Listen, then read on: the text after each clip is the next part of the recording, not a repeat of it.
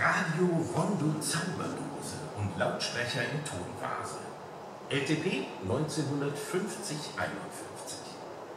Auch wenn die Zauberdose etwas an eine Urne erinnert, bringt sie sicher Leben ins Haus. Dieses außergewöhnliche Radio war in vielen Farbausführungen verfügbar.